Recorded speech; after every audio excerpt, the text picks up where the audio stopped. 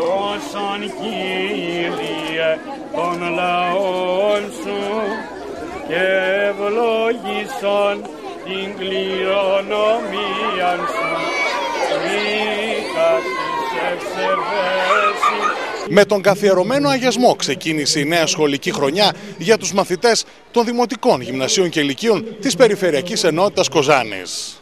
Η τηλεόραση του West βρέθηκε στα δημοτικά σχολεία Ενδέκατο και Χαρισίου Μεγδάνη στην Κοζάνη, όπου πραγματοποιήθηκε ο αγιασμός για τη νέα χρονιά, παρουσία όλων των μαθητών και των γονέων τους.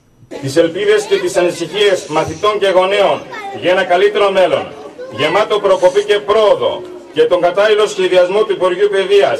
Μια νέα σχολική χρονιά ξεκινά με τις καλύτερες δυνατές προϋποθέσεις παρά τις δυσκολίες που περνάμε όλοι. Και αναφέρομαι συγκεκριμένα στο εκπαιδευτικό προσωπικό και στα βιβλία.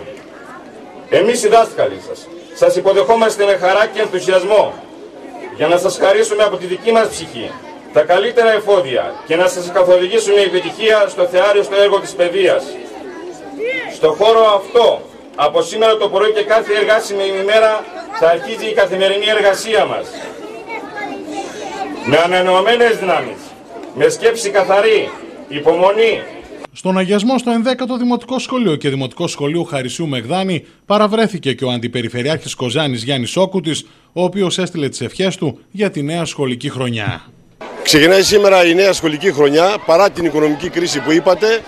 Ε, ευτυχώς τα προβλήματα είναι πολύ λίγα καθώς όπως ενημερωθήκαμε και όπως ξέρουμε βεβαίως και από το Υπουργείο ε, οι ελλείψεις σε προσωπικό και σε βιβλία είναι ελάχιστες. Αυτό μας κάνει ιδιαίτερα αισιόδοξους για την ε, νέα σχολική χρονιά και βεβαίως πρώτα και πάνω απ' όλα γιατί βλέπουμε όλοι την υψηλή αίσθηση καθήκοντος που έχουν οι εκπαιδευτικοί που πάντα δίνουν τον καλύτερο εαυτό τους για την πρόοδο των παιδιών. Ε, για να ευχηθούμε και εκ μέρους της, του Περιφερειάρχη και προσωπικά καλή πρόοδο στα παιδιά, να διαπιστώσουμε από κοντά ε, ότι ξεκινάει όπως είπα η χρονιά με τις καλύτερες δυνατές συνθήκες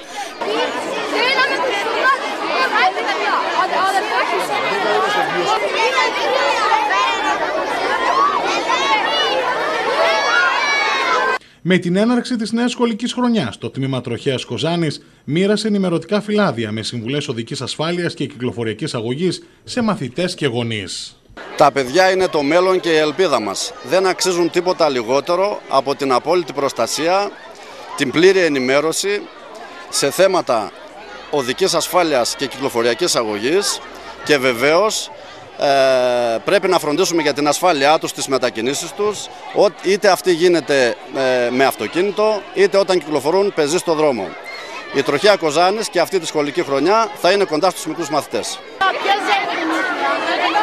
Hasta ver un libro.